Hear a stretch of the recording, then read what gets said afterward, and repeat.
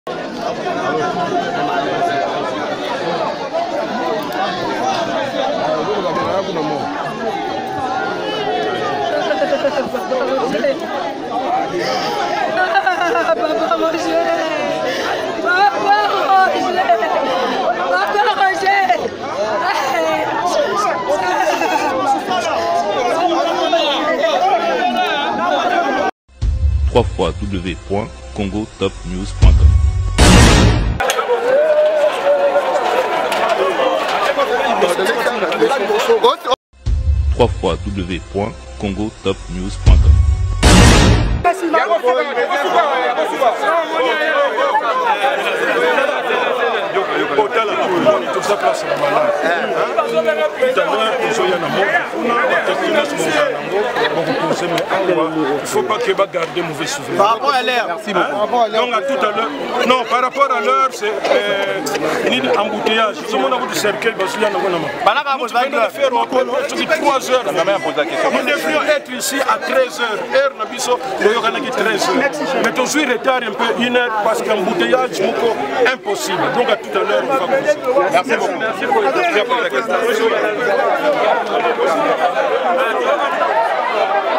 Au cœur de Kinshasa, la capitale, découvrez SB La Principauté, hôtel et restaurant.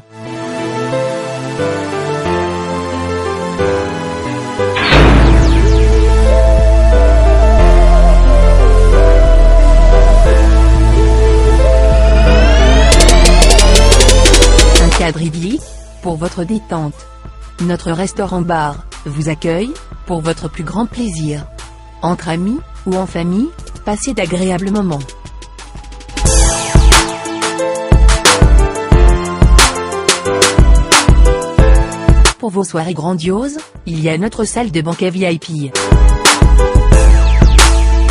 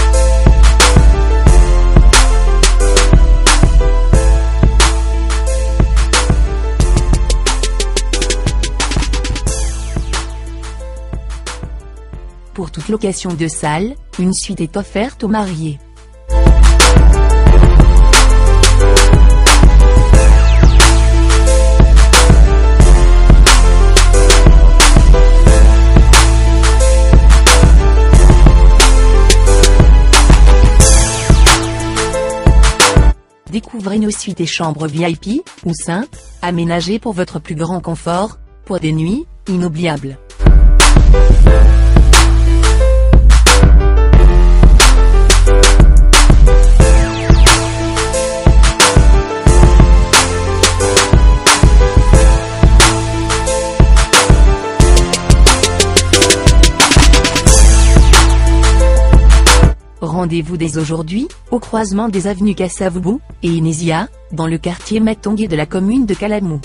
Contact 243 81 513 20 60 plus 243 99 99 14 310.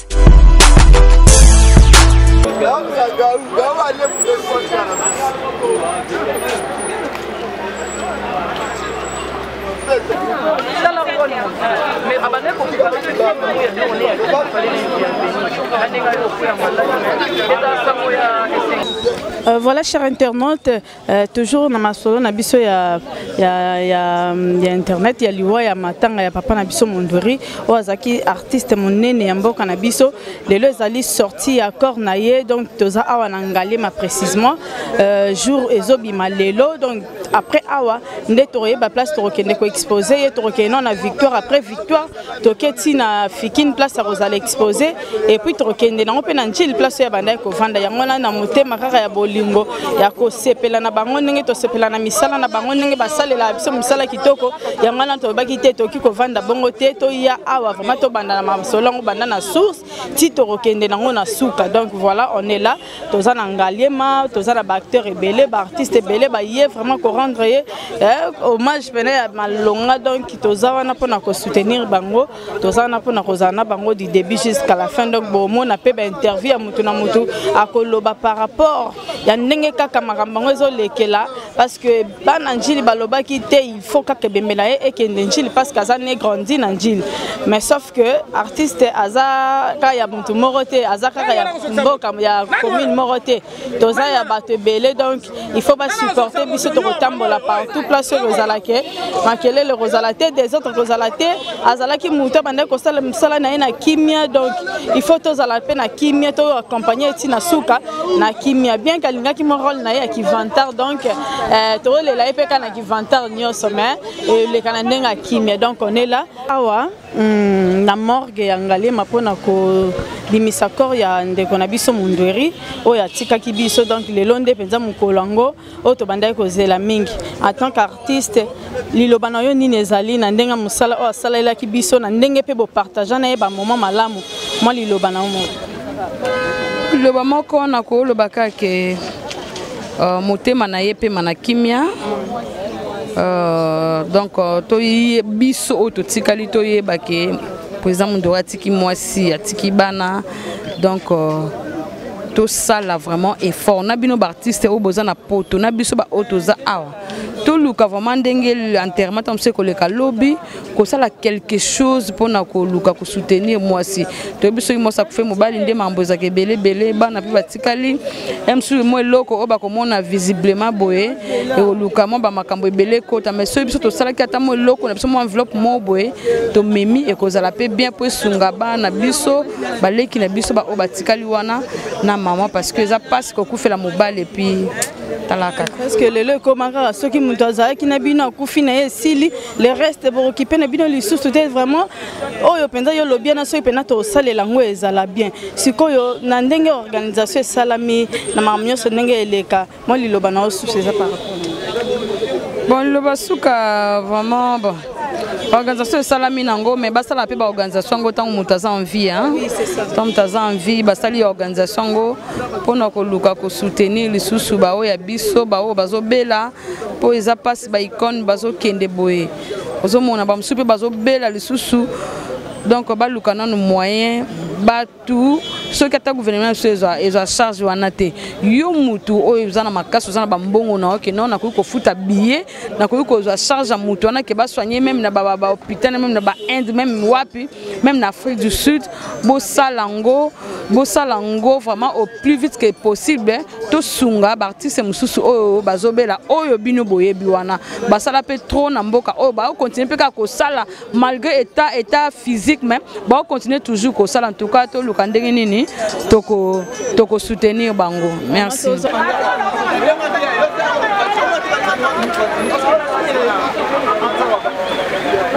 Bonjour. Euh, tout le monde a un peu de tension ozala awa qu'est-ce qui s'est réellement passé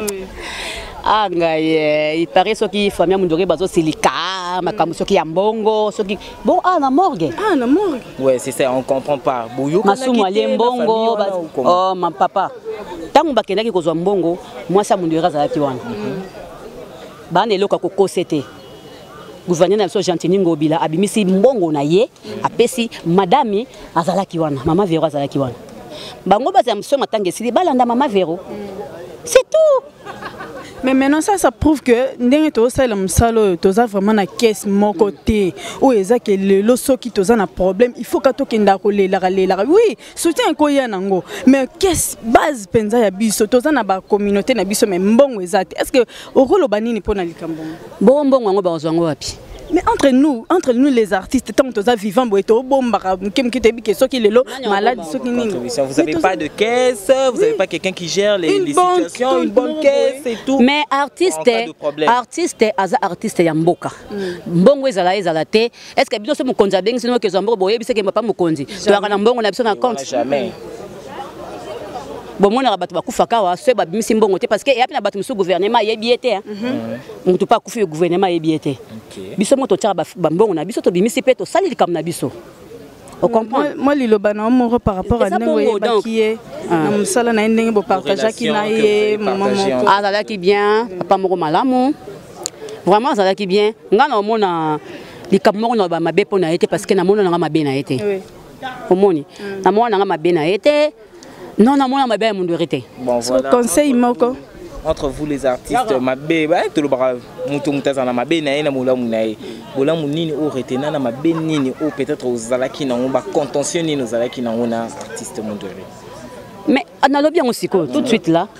nga namona mabe ne te okay. tozalaki na relation ya bien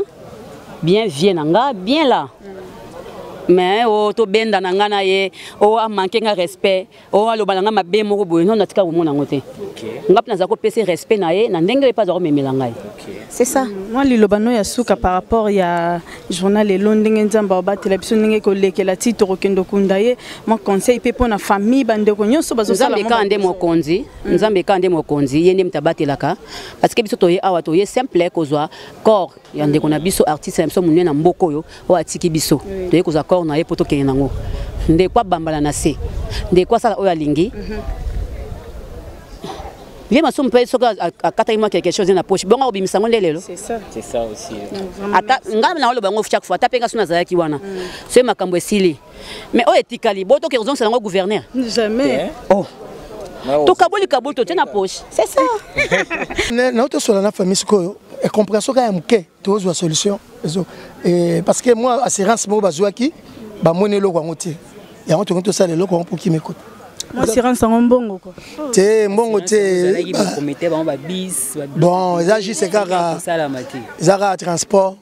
ha, transport ya kolongola bango koya na ya kokende na bango eh, yango tozozwa solution sikoyo mpo kima ekota donc eza nango mpena problème te mm. eh, eza problème te bato ya libanda basoutenir bato ya klika te basoutenir nzambe akosunga eloko ekende bien te kimi ezali meme famille bato négocie na bana bana njile mm. eh, banégocie basololi ebembe ebimi lelo samedi et vendredi samedi lere moko ya bien bamemi na njile bandeko ne mpe ya njile bana mabele baleli ndeko na bango mpe ngongo ekoki toki ekunda ye te baa bacongolais te baa bacongolais oyebi kosala desordre na ebembe c'est bon c'est bon na koloba kosala desordre mozobebisa eh, valeur ya motu akufi parce que lere moto akufi Même président de la République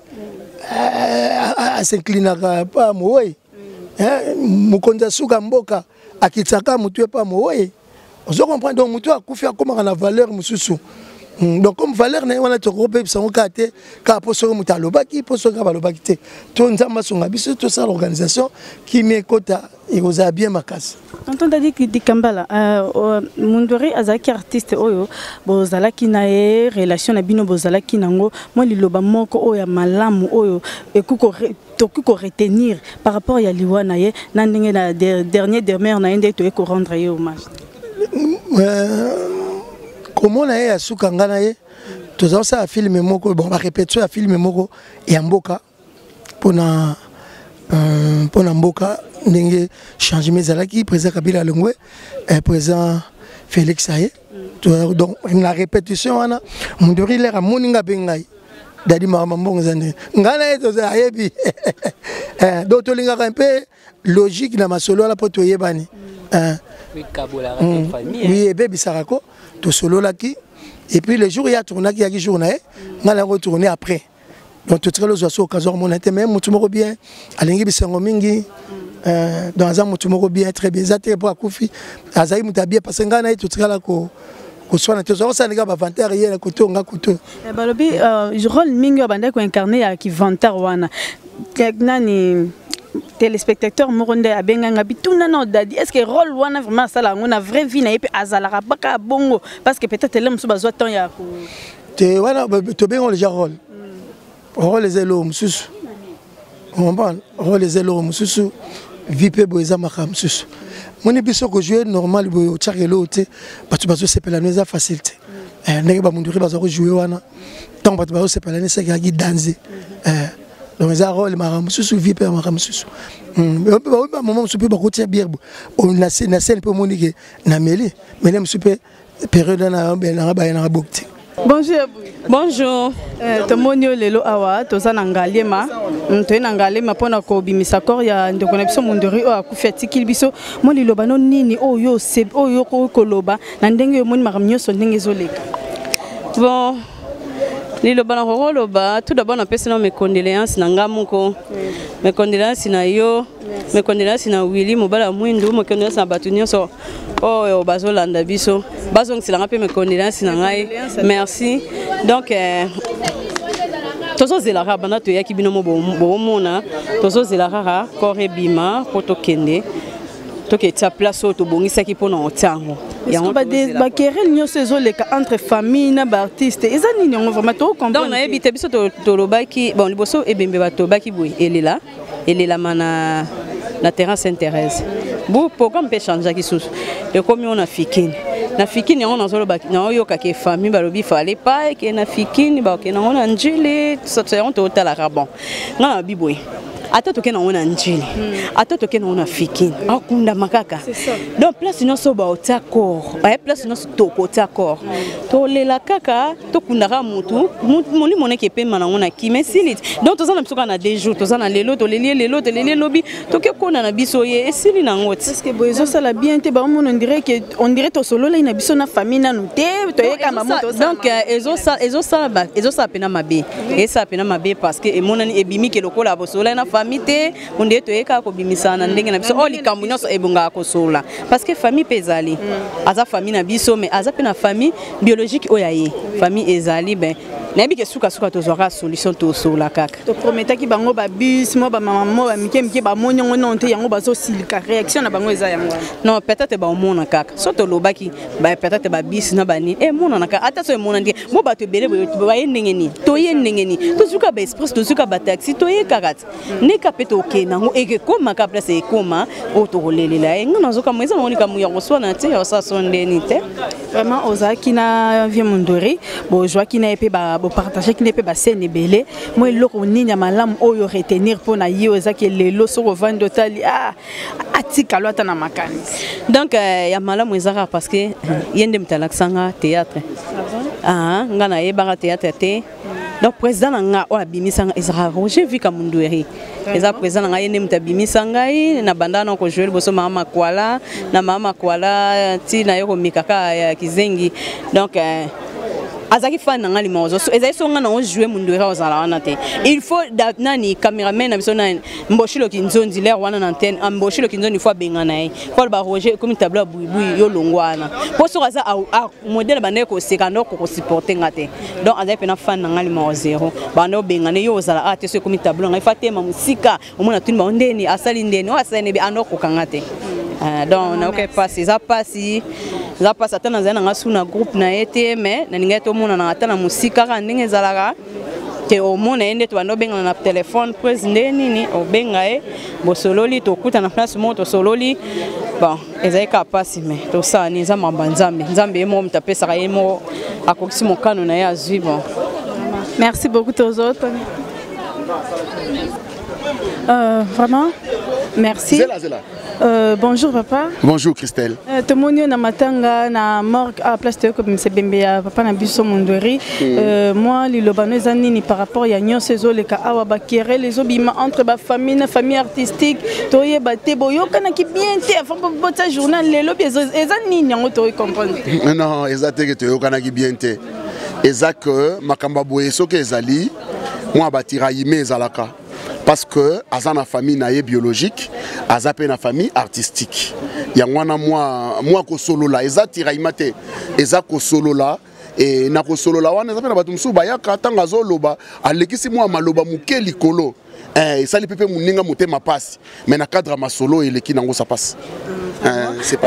oyebaki euh, ye bopartageaki ne mpe bascène moko mwa liloba no nini oza nango bobe souvenir nini ya malamu oyo retenir na parcours na ye nde bobandaki kosala liloba na koloba kaka ke l'artiste est parti mpasi eza na motema mais toloba nini adieu soit la gloire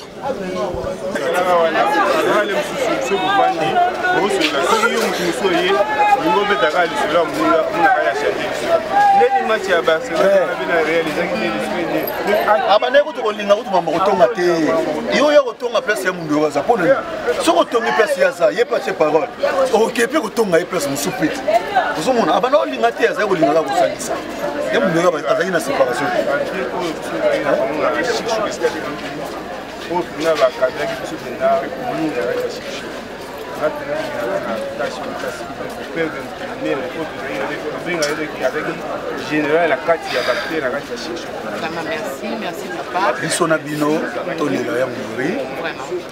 tokunda ye na kimia tosenga nzambe oyo apesaka kimia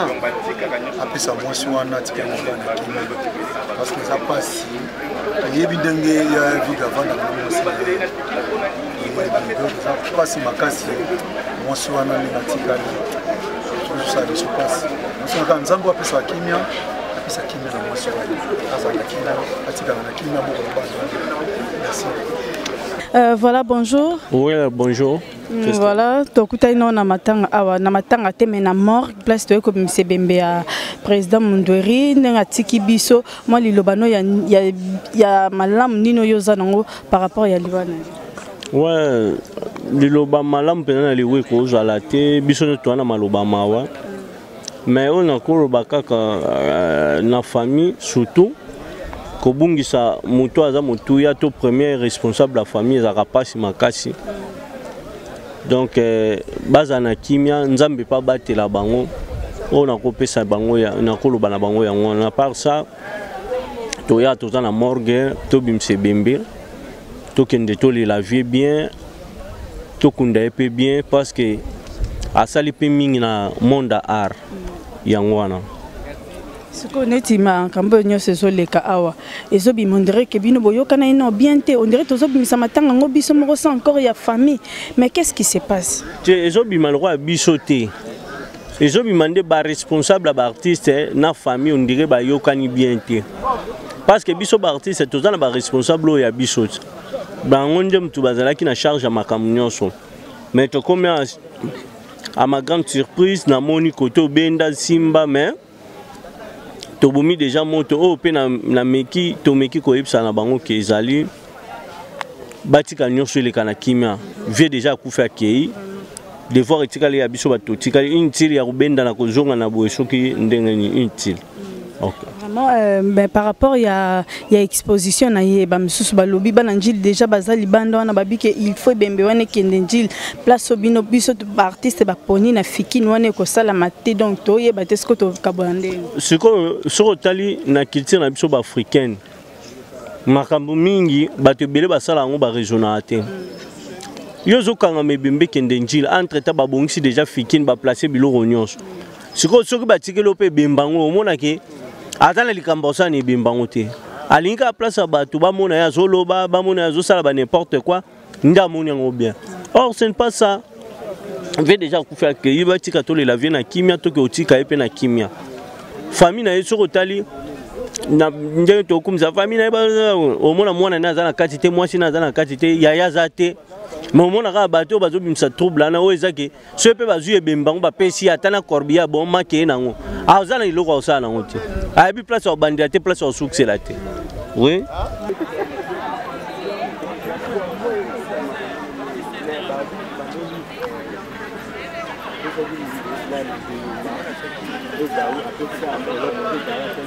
Thank you.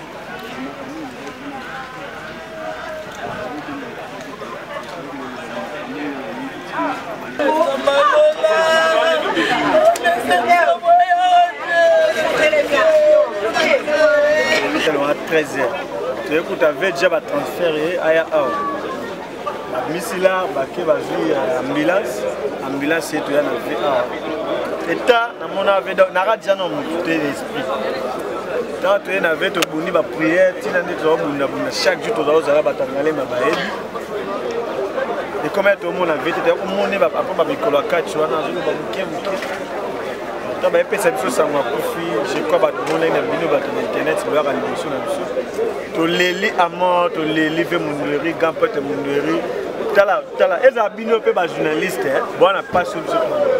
kopede motu lokola mundueri vantar role oyo ebale mondial aza kosala na bu biso tozali bana mike tomoni ebale mondial te na role tomoni na batv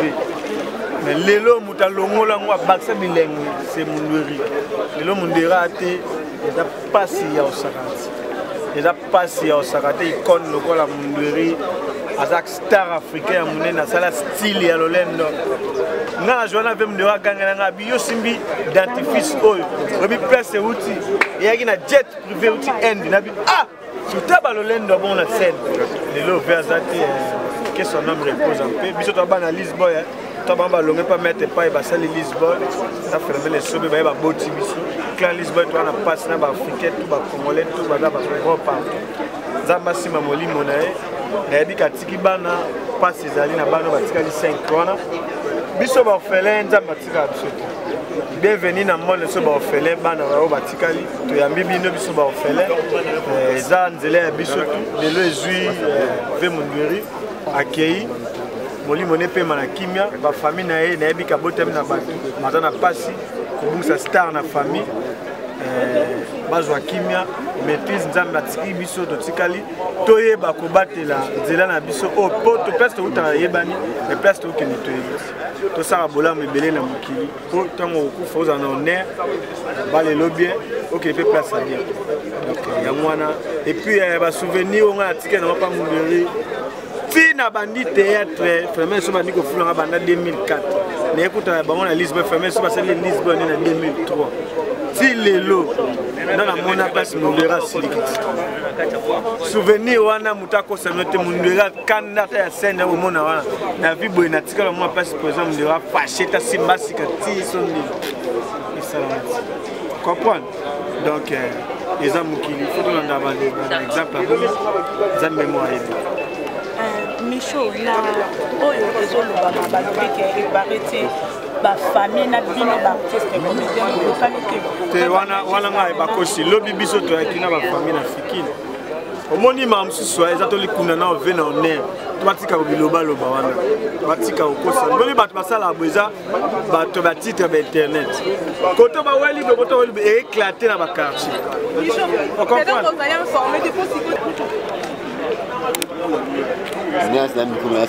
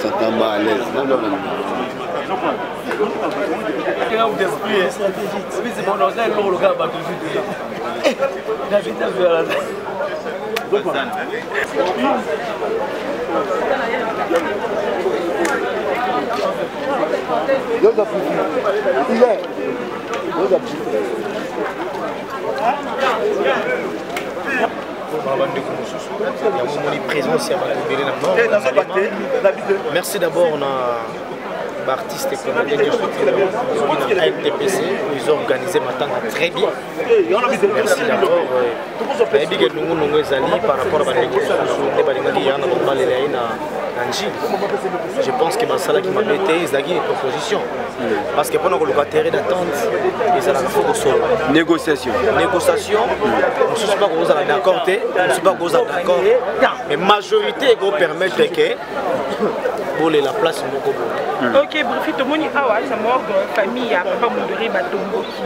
boassuraki bango babus boassuraki bango euh, euh, ah, donc bozala na bango nyonso dans le bon et maintenant sikoyo ti babengi papa masumu papa masumu abi na bango akoya 13 heures bamoni bus ya famille te bamoni eloko moko boye te salon famille naza informe te mpo na bango moto aprendre moi je dois vérifier ça parce que mono eza télévision eza internet nakoloba makambo nazo maîtrise te nalobango na télévision mais je pense que tout est préparé. Mm. Tout est préparé. Euh, oui, on dit que le rumeur pousse les informations. Hmm. Ça peut être vrai ou faux, mais je vous assure, ezoloba matière okobanda kolandela nyonso tu oyo ezoloba mokotikala komona te chroniqueur chroniqueuse moko afélicité baza hmm. kaka bato ya kobula bato ya critique kaka eh, nazoloba mpe na bino matanga nini oyo eleka na kati ya mboka oyo artiste ezala na polémique te hmm. cela veut dire nyonso baorganisaka mabe oyo ya papa lutumba kutu kesoname reposa mpe ekundami na ba honneur nyonso na banorme mais olanda na internet yaka na bato baokenda baproblème saka kongo asalaki boye oyo asalaki boye aliaki mbongo mais tokende mpe tozonga mwa moke famille ekodéclare boye te seke bino bacomédien bovandaki na famille bien te bosalaki réunion oyo ya bien te mpo ti lelo ekomaka acte esepose awa na hôpital ti ye osalaki baartiste mosusu nde baye kondongola famille batika koganga mpo ekomaki mwa mbilinga mbilinga yo ebi biso mpe totikaka te caméra ngwa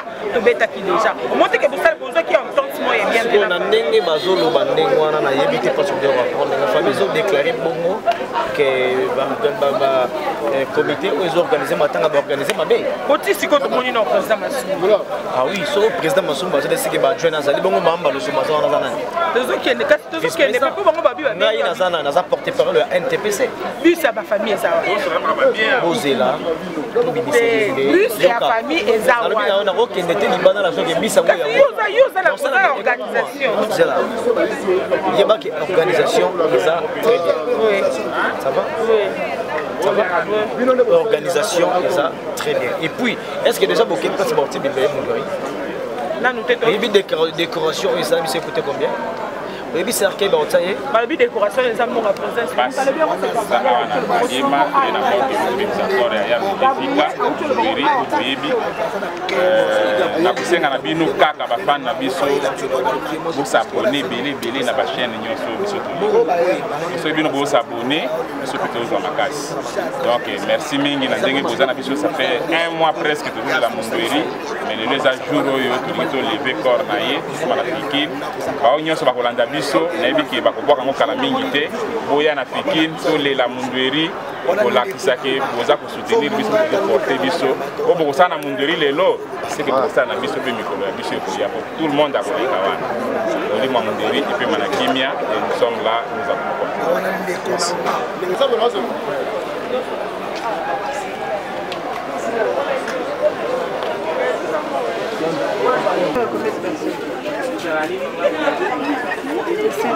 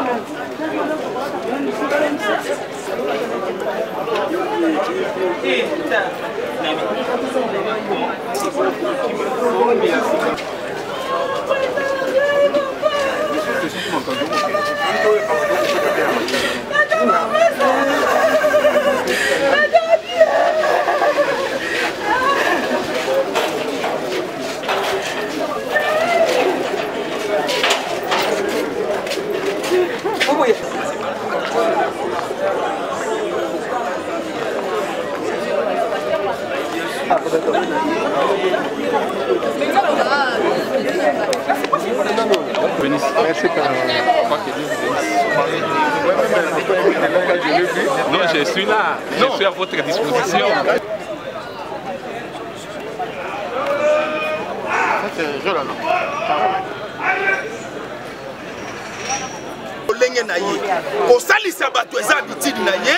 koyokela bato mawa eza comportement na ye toningaki toyoka soni toningaki toyoka soni mpo toyoka basoni mbala ebele na bibembe na biso me moko kati na biso abimi yaya kosalisa bato eza lolenge na ye koyokela bato mawa eza habitude na ye kosunga bato eza comportement na ye mama olive lembe mama nzambe apambola yo nayaka matanga na biso bakomedie te mpo na nini ebandaka malamu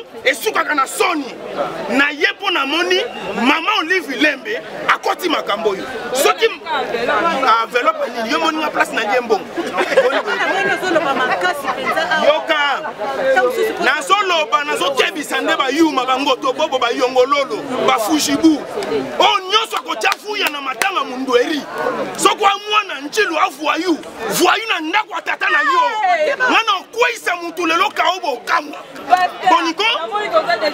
ekomi nini yango naopanza mutu oya otya makelele balele na saint therese bakune na saint therese ngai natye na fikini ngai nde mutu natye yango na fikini oyo aza mobala te mabima ngai nde batie yango na fiki nani natie yango na fikibasali ya nzambe njili baoyeba ngai nayebisi bino tobeta na makofi ya basali nayebisi binobasali na ndeni mama oli filembe mama bana ebele mama bacomédien kosalisa bato ya lolenge na yo koyokela bato mawa eza tedi na yo na bwaki ye aza mama boboto ntango to bandeki kolela bozalaki wapi aye natangi nkombo nene mama olive lembe kosalisa bato eza lolenge na yo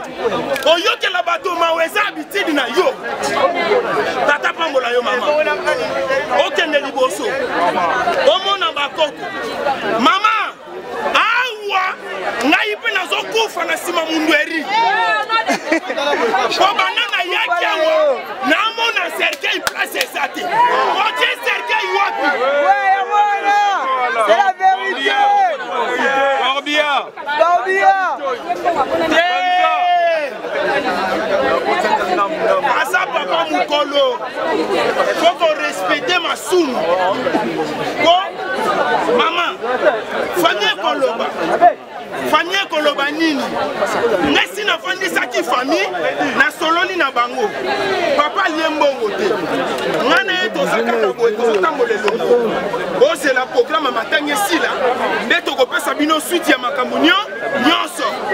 bofanda kimia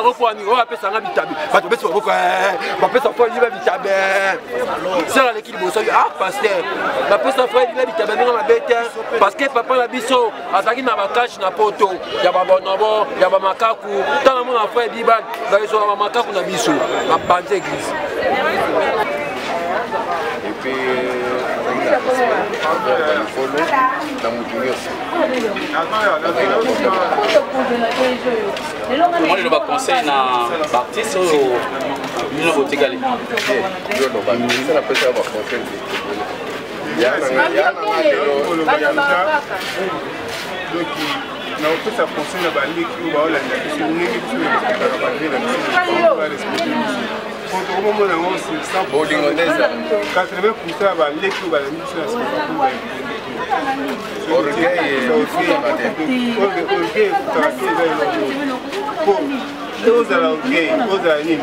omoni mabele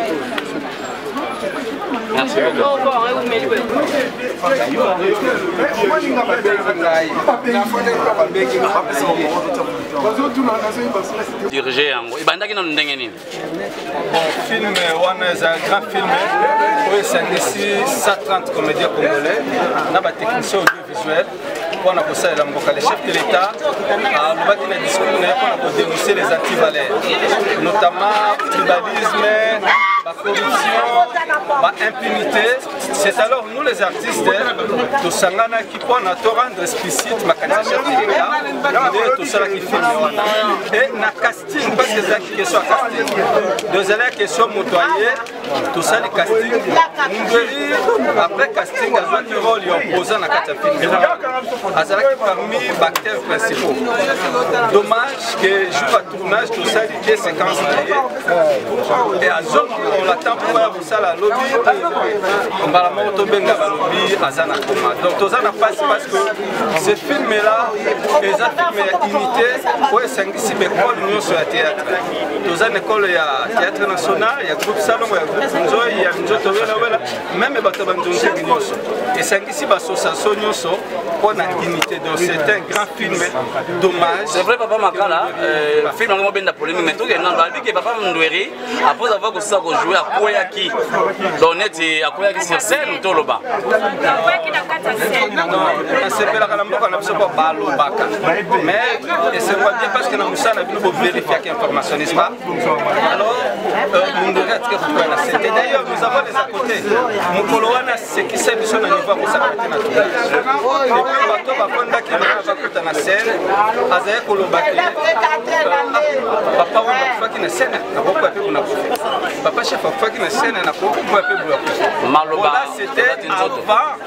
Là c'était avant, mais tant bakoti na scène, asekisi biso na niveau moko vous ne pouvez pas croire. Toza na les à côté toi na ngo. Tango tobandi tournage, tokomi na deuxième séquence na ye, oye katali. tant pour Ekata, on ne pouvait pas continuer avec lui. Surtout qu'on travaillait avec les grands réalisateurs professionnels. Il y a André Diamoukoumbazi à RTNC et il y a un jeune... Euh, Etienne. Etienne Kiangut ye bazaka mibale na Congo basisa na ciné école ya cinéma na Benin bazaka na mibale donc ye siko moto ayaki so botala filme na dia bomona na matanga eza ndenge tomesana kosala te zuma coloration pende ya cinéma donc euh, ba projecter en ba projecter yango c'est ce que nous comptons faire et puis so botali filme wana esalami na ba normes professionnelles tango tosisi filme mundu est parti avec euh, métro un comédien aussi ya njile grand comédien aussi ya njile bake bango mibale bakomi ti na saint thérèse mais eloko ya koyebisa biso lobi na tonke ntango bakomi na victoire asalaki mwa malaise bakomi na saint thérèse ntango bakomi na saint thérèse bakabwani et je vous, je, je vous rassure que si munderi azalaki na bamalaise métro ne pouvait pas le laisser na saint thérèse n'est-ce pas alingi accompagne ntina ndako na ye mais bakabwani bien ya bonne santé ah, bosa bato omonana lobi lobi il est ake na ndako akoti mpe na ndako normal c'est ce que sa femme nous a rapporté ke akomi na ndako normal ake na chambre babenge alobi akolia nsima asali crise na 3 heures du matin na ndako na ye parce que nous nous sommes des professionnels na règle na biso c'est quelqu'un malade et que na rôle ya monene lokola bandaki kojoue bongo on ne pouvait pas accepter parce que na mosala na tozalaki strict na baprofil na baexpression faciale donc on ne pouvait pas accepter que asala na état ya maladie non donc eza kashe na ye banani bakolia yango ya filme wana mais par rapport ya kashe eza filme ya ti la raison pour laquelle nous attendons tosali yango po personne azwi nano mbongo na mongo toloba nous regrettons na absence na ye personne azwi mbongo nous pensons que sa 30 acteurs oyo basali na filme wana euh, bakozala récompensé pour que mwasi ya munduri et sa famille bazala mpe récompensé c'est fini aujourd'hui soki bafingi congo ce n'est pas un problème que ministre akorépondre euh, vous n'êtes pas ça savoir que oyo bamindele basalaki filme moko notre ministre à l'époque bapekisi ya kutu bacinéaste wana bakota awa mais makambo wana nyonso esili parce qu'au congo il y a des cinéastes qui sont capables ya kotraduire valablement histoire ya mboka na biso et puis encore ce n'est pas pour que les américains basalaka filme batiere yango azoboma bato nyonso justement pour dire na bato que non un américain akoboma bato nyonso n'est ce pas alors nous aussi au congo toza déjà na arsenal wana nous avons des professionnels avec des réalisateurs professionnels bacomédien professionnel oyo oh, valablement soki bafingi congo lelo na cinéma nous allons répondre na cinéma et ekotala yaso bapoliticien te euh, toza vraiment na mpasi na motema na absence ya mundweri comprenez que mundweri moto azwaki role ya opposant bazalaki na mwa groupe na bango e biso ozalaki na ngambo ya pouvoir vous allez voir bokomona ke le congo a perdu un grand et puis dede mundueri mingi bayebaki kaka na role ya lolendo na role ya lolendo mais nous na mundueri na likoko na voilà mais na ligue congolaise de lutte contre la corruption toza na projet moko totravaillaka yango tozalaka na mundueri soki otali ndenge azwa na kati mpe ndenge akontinuaka kozwa eza mingi na français vous allez voir un autre mundele bokomonaka ebimisa batala mosusu odela oyo bato bayeba ye e dommage ke nzambe abengi donc c'est pour vous dire que c'est faux oyo bato balobi na tournage akweyaki no daye na tournage nous avons les akote oyo asekisaki biso ye motu kutu atiaki ambiance mais nzambe mokolo suku donc c'est un personnage perdu à mondwere en tout cas ça fait très mal mais nous pensons que d'ailleurs tolanda simplicité ya mundwele contrairement na personnage il savait faire la différence entre personne et personnage soki aza na, na personnage na ye bomoni lolendo mais na personne na ye nayebi te comédien nini azwa problème na ye c'est quelqu'un oyo azalaki na simplicité moko vous ne pouvez pas croire et puis de deux mundwele te un acteur discipliné Il y a des acteurs qui ne répètent pas. Mais Munderi, na grandeur, na yesoka ye, na musala bobengi akolando metteur en scène azo senga ye. Qualité wana beaucoup baza na ngote. Donc nous regrettons vraiment le Congo vient de perdre un grand acteur. Euh, désolé mais ça fait très mal. Merci. Merci. Bonjour. Bonjour. Hmm, to moni pe ana morgue, moi impression na yo, moi liloba na yo par rapport à maramnyo sonenge zo leka. Toye toye morgue. Toye morgue. tomoni kaka oyo ezoleka awa eloko tozela kaka tobimisa accord tokende na fikini comme prévu tolela ya na biso ndeko na biso après lobi toki otika ye na dernière demeure na ye mm, est ce que opartage na ye mpe bascène moko si na partage na ye bascène ebele kutu mm. ebele eh, mwa liloba no nini eza par rapport ya ndenge ya disparition na ye oyo otikala nango donc oyo retena na parcours na ye ndenge abanda kosala mosala na ye ya makasi kaka nazwa epa na ye aloba na ngai abi na ngai yo oza kalunga me ngai mpe na mundueri epuis naye koyoka susu epa bato ke kalunga azalaka monoko me mundueri asukisi ye donc eh, eza moko ya eloko ya makasi oyo naza yango eh? ouais. dernier jour mpe tozalaki na ye avant asala crise tozalaki na tournage oui. mais nzambe azwa lokumu toyaki mabele tozonga mabele moto moko te akoleka aomata boye kaka yesu na eli nde bamata biso nyonso totikali tokufa après kosekwa merci beaucoup natiki ozoyoka mondori aza lelo te abandi epa maître pai ngai na maître pai tobandi ovanda aveni moko maître pai alobi naza koya na, na, na nesobe nazoya na mundueri ngai bia bana wana bazalaka respect baye koya mpo ngai naova na kimbangu maître pai na ngilingili aveni moko na bolafa ozoka ntango baye nabandi komona bana nde baosola ni ngai nayebisi ngai alobi ah namoni yo munderi ozo obanda ojoue lokola ebale mondial mosika te naye komona asali groupe ne tokuta ye na victo ayebisi nga mama nasali groupe na ngabi ah mpo na nini boye abi te mama na ndenge ya mabe te nga alobi bon likambo te okojoue na ndenge no moke moke mais obanda kotika nani ya, ya yebal mondial parce que ye abande mutu mosusu aza te nga yebal mondial te ya bande ko jouer ndenge e bal mondial papa yo tala nde to osola nga yao yo osola wapi oza koyoka nga c'est ça pe artiste liboso ya mbanga mama linga na na njili eza ye après ye papa kova papa koba kufeli mwana na na njili kikedi nda azwaka nga en charge ozoyoka na ye mundueri bana na nga bapia nga respect ozoyoka nga bana bayebi ke bakoli histoire nde bango oyo abandaki koloba yanga mabe te apres nde toyokuta na filme oyo touti kosala ya mboka ya suka filme ne ya suka yango wana ozoyoka nake kochange bilamba na bimi abi hey! mama na bana nga biyo boyaka na tourne nga nasengaka na tourne mpa na abi mama eya groupe na yo soki oye esani oza koyoka nga eh? wana akufi toloba ke ebal mondial akufi defo ye barole na ye ka ya bato ya mbongo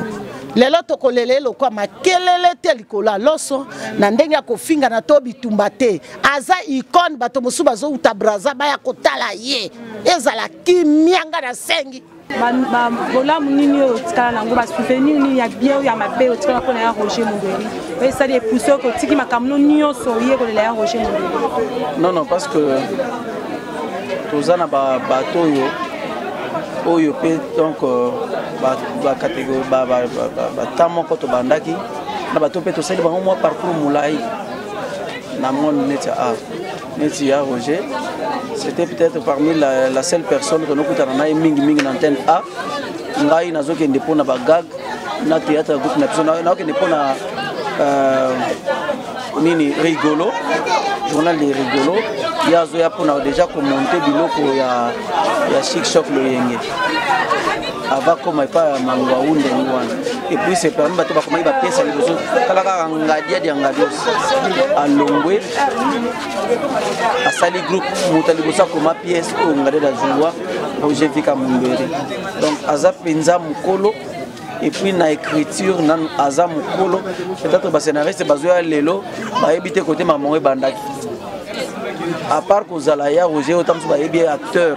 mais aza moto peut-être periode oyo toperdaka vie na biso ebale mondiale oyo mpenza alongolaka biso susi ya ebale mondial epuis asilisi kaka kolongola biso susi ya ebale mondial te mais akie lisusu na ndenge oyo ya ye mais à part ça c'est un grand script oyo awandok akoma bapièce ebele oyo a succès bapièce ebele oyo esala renommé oyo bato ebele bayebi na kati ya congo bien que azalaki mpe motu mpe ya kolobaloba kuna boye te eh. na vie normale peut-être bavantare ezalaki kaka kosuka na scène mais na vie normale ko atikala koloba yango mpe te ye moko peut-être bon peut-être ata mosu ayebaki efalaki bato mosusu baloba yango na part na ye parce que amibeta nango mpe tolo te donc tobungisi yaya kulutu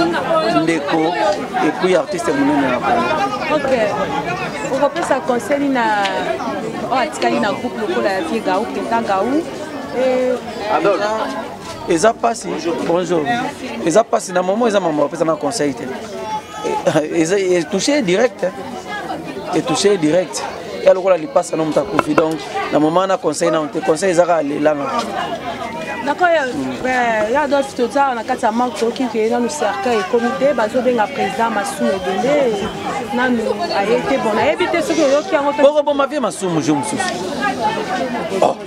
ekomaka likambo moke bolati yango mpe masumu amema nde ngambo eza nini quelque part toyeba mpe biloko mosusu quand même ya lokola ozoma na papa na biso ozofinga papa na biso na miso na biso moi je ne tolère pas ça mpe masumu wana aza papa na biso apart nano mambo ya théâtre papa pardon s'il te plaît oza na donc euh, aza papa na biso bokomankaka mankaka ye te eza chaque fois soki likambo ezali peut-être ye aza leselo atelemi awa soki mpe lelo vie masumu akufi boyaka akolela susu boya kolela te congolais mponi tozalaka boye ete moko bomona moto aza vivant na en dépit ya baeffort oyo azosala oyebi combien azosala ata mosu mpona biso eza teke à chaque fois vie masumu tout le monde se permet ya kofinga vie masumu ana niveau bato ebele te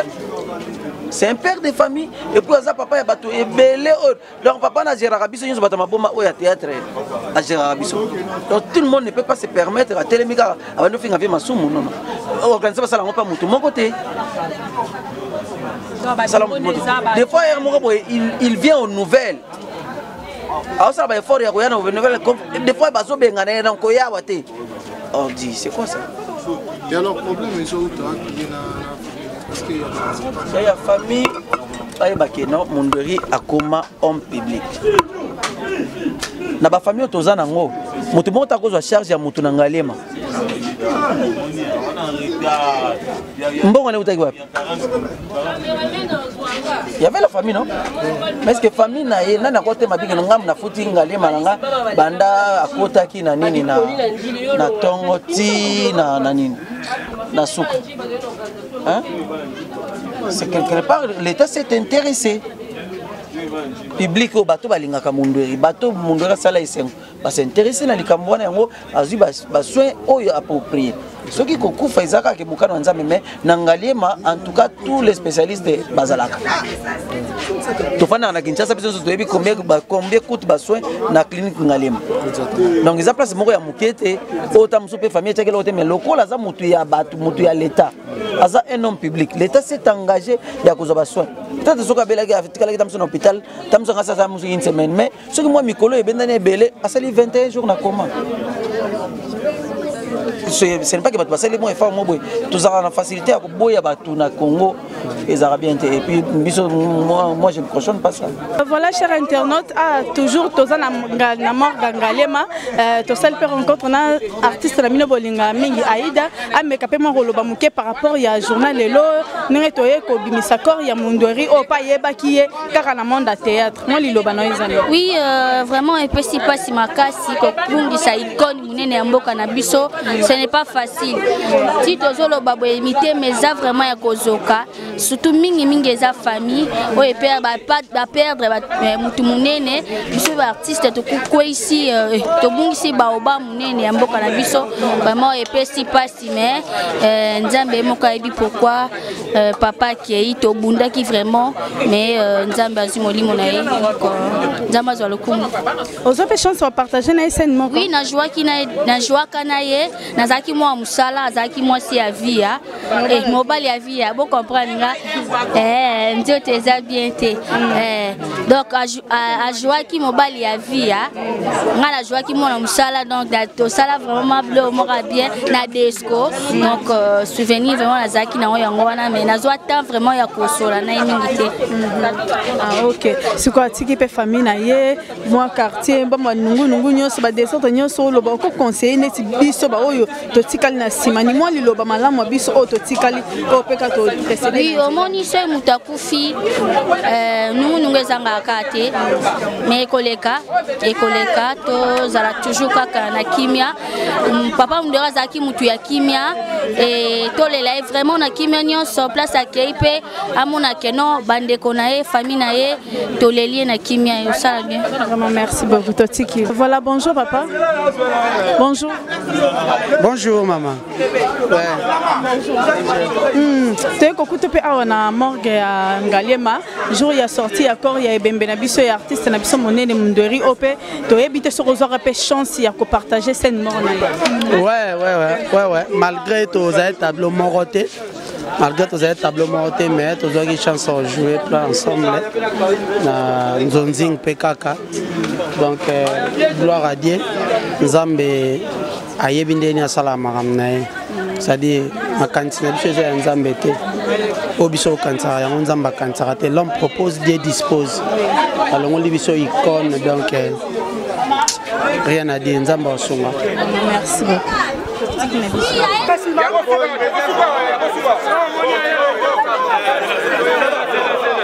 otala moni toza place na malade tala ezoya na moko kuna batekinas moza nango bakopose me awa il faut pas que bagarde mauvais souvenir par rapport à l'heure donc à tout à l'heure non par rapport à l'heure c'est euh, nini embouteillage ozomona kutu cercueil bazoya nango na mabalaka faire soki 3 heures on devrait être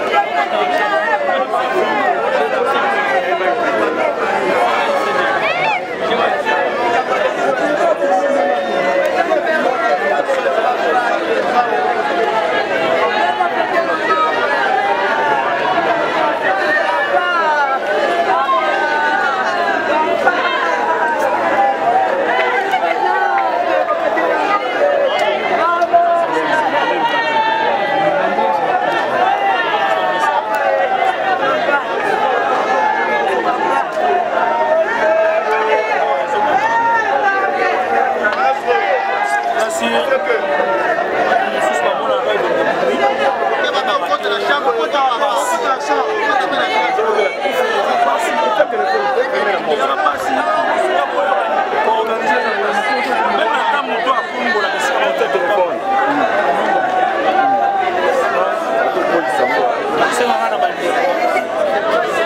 bapesa biso confiance saisai organisation nyonso antepc nyonso oyo baparticipe poke papa mongola abanda tokokunda ye ndenge ye moko abaki aza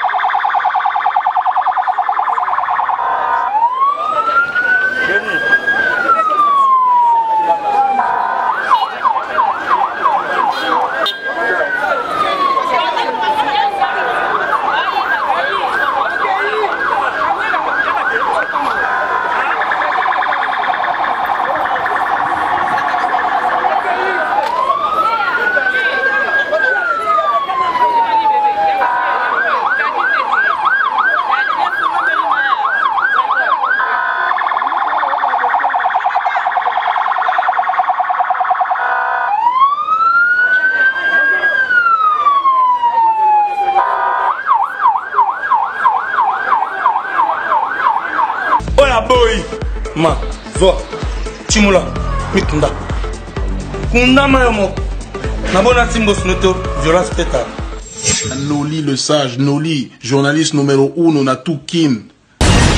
ims What I know. Au cœur de Kinshasa, la capitale, découvrez SB la principauté, hôtel et restaurant.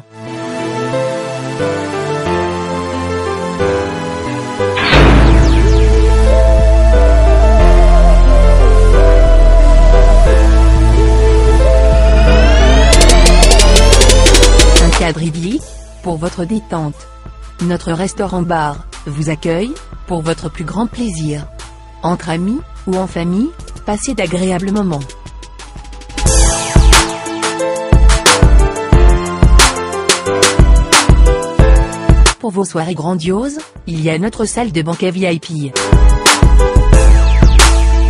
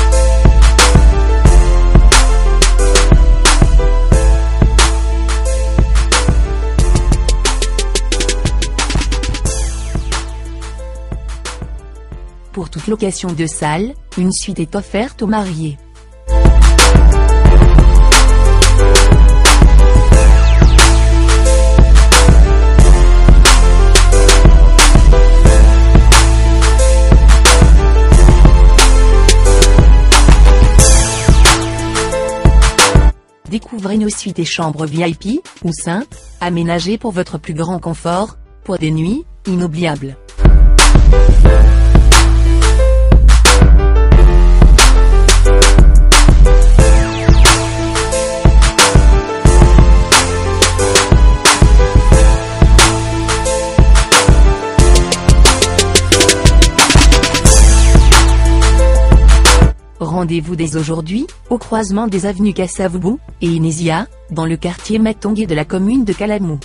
Contact 243 81 513 20 60 plus 243 99 99 14 310.